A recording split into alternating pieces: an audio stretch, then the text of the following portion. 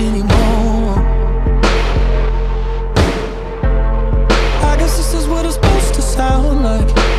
The universe, the universe, universe is torn